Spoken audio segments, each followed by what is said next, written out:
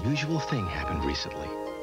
Some Cabbage Patch Kids were born with beautiful corn silk hair. Look, everyone said, you can wash and curl their hair and braid it and style it lots of ways. And they have their own brush they can hold. Seems as if they could have a different hairdo almost every day. And they always love to be loved. A lot. Cabbage Patch Corn Silk Kids with everything you see here, each sold separately. Some accessories not included from Coleco.